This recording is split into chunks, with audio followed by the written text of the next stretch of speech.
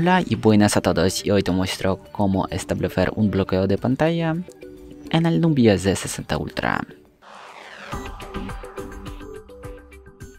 Primero abrimos aplicación ajustes y aquí tenemos que encontrar opción seguridad y privacidad.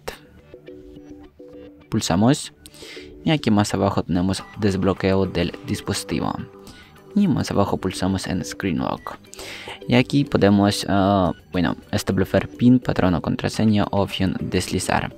En mi caso yo voy a poner un patrón.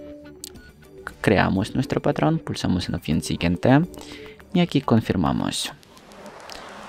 Y ya está como es ya tenemos establecido el uh, patrón. Y ahora si vamos a bloquear nuestro celular nos va a pedir un patrón que hemos establecido.